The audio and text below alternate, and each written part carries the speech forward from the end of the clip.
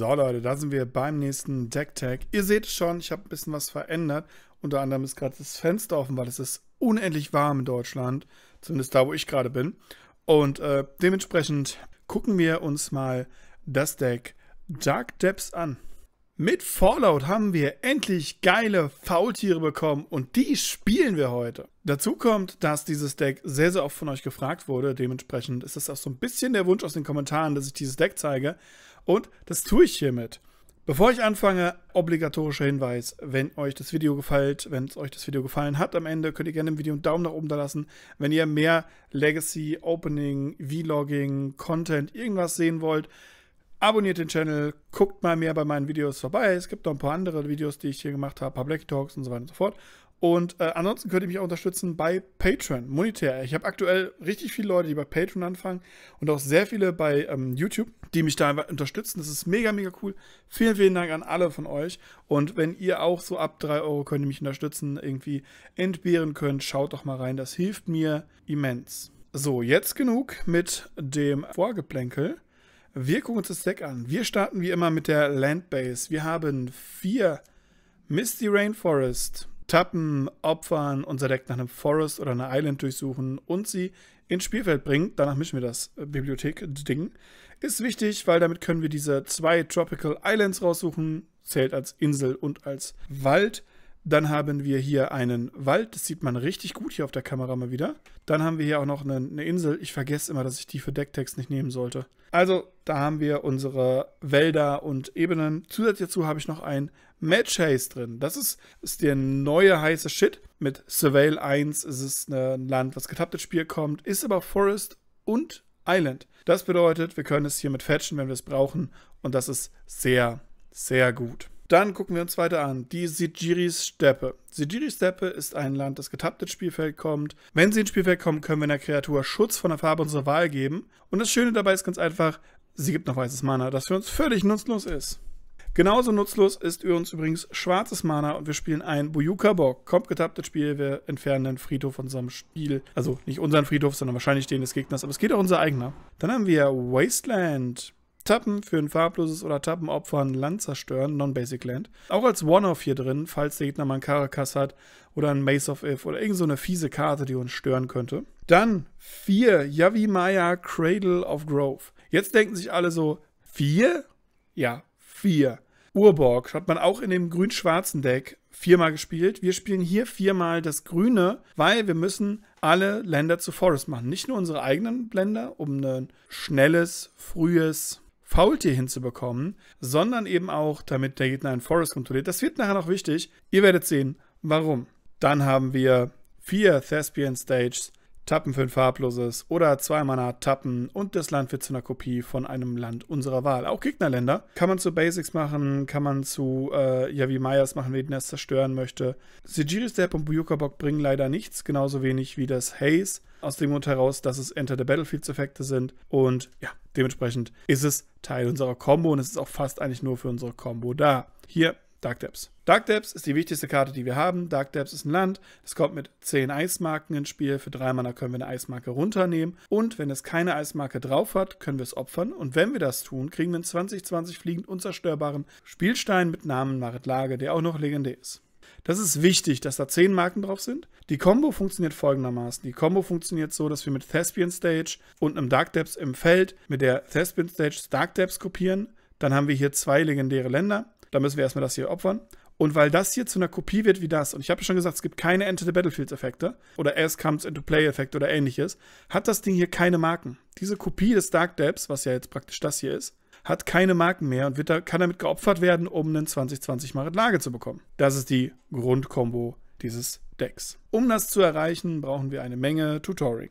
Dafür haben wir eine von zwei Kreaturen, jeweils viermal, und zwar den Elfish Reclaimer. Elfish Reclaimer, 1 Mana, 1, 2, der kriegt plus 2 plus 2, solange wir drei oder mehr Länder im Friedhof haben, haben wir relativ häufig. Und für 2 Mana tappen können wir ein Land opfern, um unser Deck nach einer Länderkarte zu durchsuchen und sie getappt ins Spiel zu bringen. Das meine lieben Freunde, ist der Wahnsinn. Diese Karte in der ersten Runde zu droppen, wenn der Gegner irgendwie ein Graveyard-Deck spielt und er kann Turn 1 nichts machen, hat man immer Buyuka-Bock offen. Man kann mit Shiziri-Steppe immer was beschützen oder man kann sich die Combo tutoren. Das ist halt einfach ein Ein-Mana I-Win-Button, wenn er lang genug liegen bleibt. Das ist immer die Frage, ob er lange genug liegen bleibt. So, dann haben wir meine Lieblingskarte. Die Karte, die mich dazu bewogen hat, dieses Deck zu bauen. Also nicht meine Lieblingskarte generell, sondern meine Lieblingskarte halt in diesem Deck. Und das ist der Lumbering Megasloth.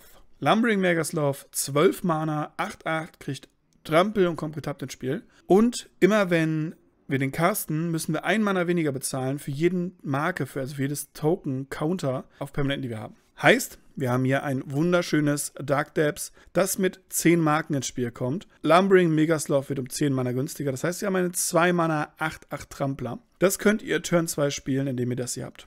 Das hier ergibt Turn 2 Megasloth. Erste Runde habe ich Yavimaya, zweite Runde Dark Depths, dann kann Dark Depths für Mana tappen, weil das kann es normalerweise nicht, weil es hier dann Forest ist. Und dann habt ihr hier 10 Marken drauf und könnt damit den Lumbering Megasloth spielen. Viele Decks ist das schon zu viel. Und vielen Decks kann man damit schon richtig hart ins Gesicht hauen. Und das ist schön.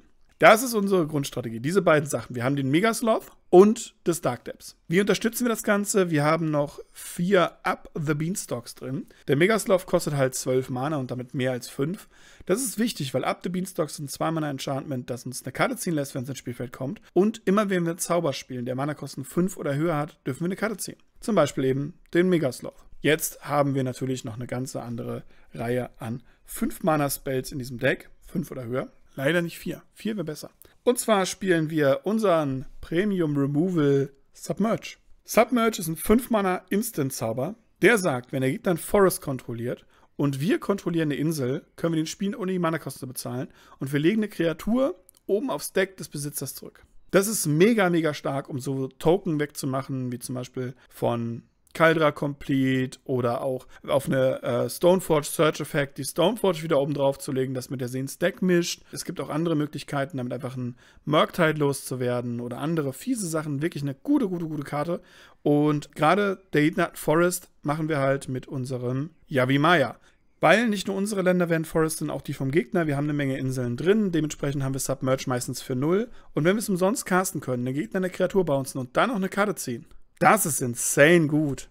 Das Ganze wird natürlich abgerundet mit der Premium-blauen Karte, die wir in Legacy haben. Force of Will, 5-Mana-Zauber, Counter und Spell unserer Wahl. Wir können eine blaue Handkarte abwerfen, statt die Mana-Kosten zu bezahlen und ein Leben bezahlen. Also abwerfen heißt Exile in dem Moment. Auch der kostet 5 Mana, auch hier können wir gratis eine Karte ziehen. Also wir geben halt zwei ab und ziehen dann eine. Dann haben wir drei Lorien Revealed, 5 Mana Sorcery, wir ziehen drei Karten mit Island Cycling. Im Early Game sehr cool mit Island Cycling, einfach nur um zum Beispiel Hedge rauszusuchen oder ein Land rauszusuchen. Wir haben nicht so viele Islands, aber wir können die halt damit suchen, das ist ganz nett. Und nachher kann man damit auch mal fünf Karten ziehen, wenn man so irgendwie zwei von den Up the Beanstalks drin hat.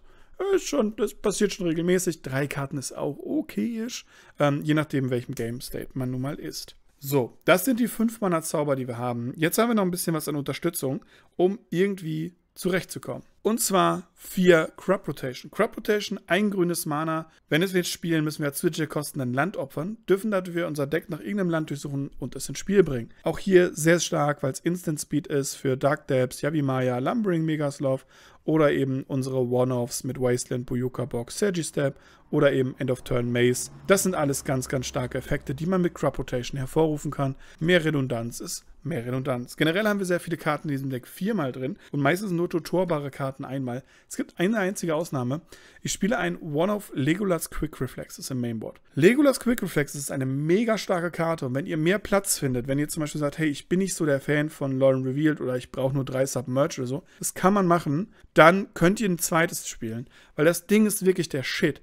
Ein grünes Mana, Split Second. Wir enttappen eine Kreatur. Das heißt, wir können auch mit Megaslav auch blocken in der ersten Runde. Der Gegner wird damit nicht rechnen. Wir können damit irgendwelche Token zerstören. Es ist ein Mana Destroy Target Creature teilweise. Und wenn die, Kreatur, also die Kreatur kriegt noch Hexproof, was mit Split Second insane gut ist, weil der Gegner kann nicht mehr darauf reagieren. Wir haben eine 2020 Marit Lagetoken und geben dem mit Split Second Hexproof. Ja, dann hat der Gegner halt verloren. Und wenn der dann getappt wird, fügt er einem Kreatur so viel Schaden zu, wie viel Stärke er hat, also bis zu einer Kreatur. Auch das insane gut, um sowas wie eine Baleful Strix, wo wir früher wirklich Probleme mit hatten, aus dem Weg zu räumen. Und äh, auch der Megaslauf macht damit wirklich gut Kreaturen weg und das ist wirklich eine sehr starke Removal. Sollte man auf jeden Fall irgendwo spielen, muss man halt ein bisschen schauen, wie man reinpasst. Dann vier Stifle. Wir sind schwach gegen Wastelands, wir sind schwach gegen Caracas oder auch irgendwelche Bounce-Effekte, ähm, außer von Teferi, den können wir damit leider nicht stiflen.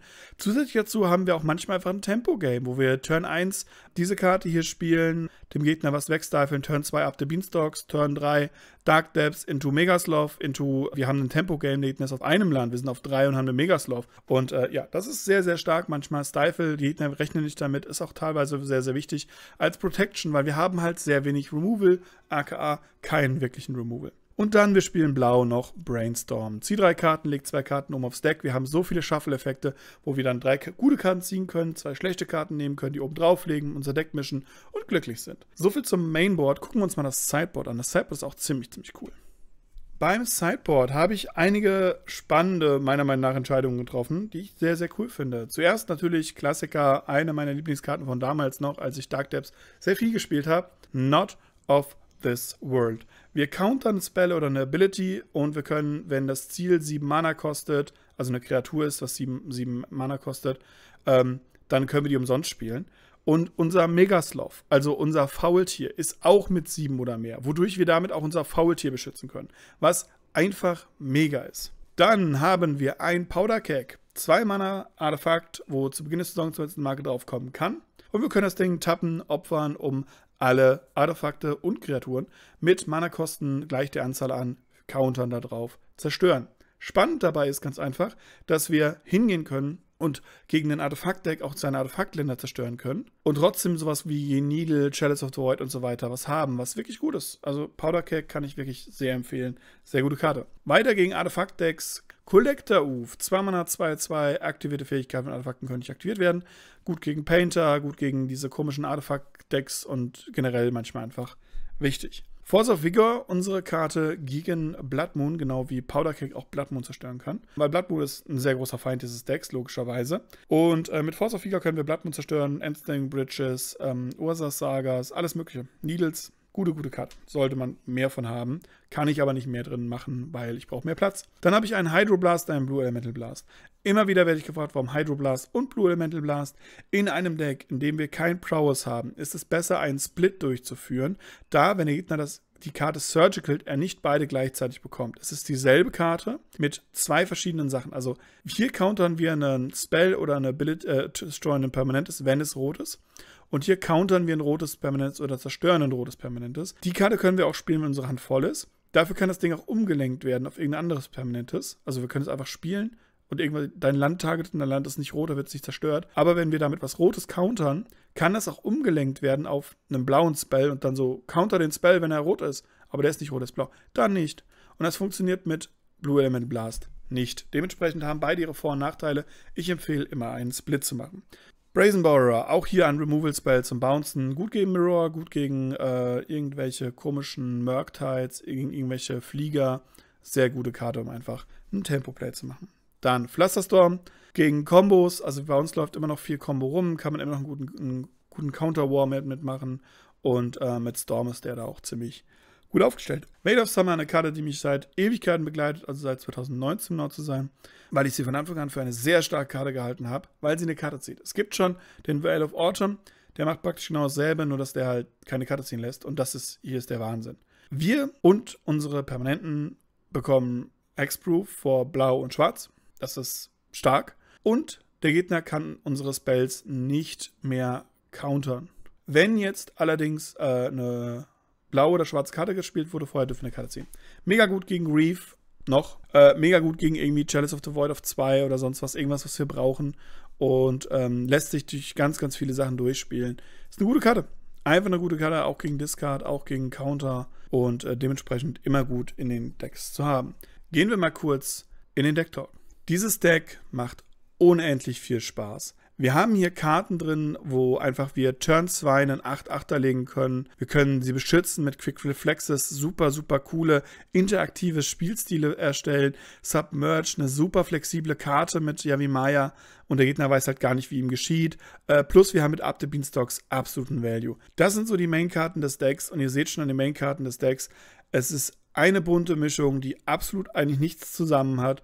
Und deswegen macht das Deck unendlich viel Spaß und ich kann es euch wirklich empfehlen. Wenn ihr Dark Depths schon mal spielen wolltet und ihr jetzt nicht derjenige seid, der sagt, hey, ich möchte ein bisschen Budget gehen und will deshalb die Rainbow-Variante spielen oder jemand, der seit Anfang an sagt, nein, grün-weiß oder grün-schwarz ist mein Weg, Dark Depths zu spielen, probiert dieses Deck aus. Es macht mega, mega viel Spaß. Es ist super resilient gegen die meisten Decks, die aktuell in der Meta sind. Und äh, ich kann es wirklich empfehlen.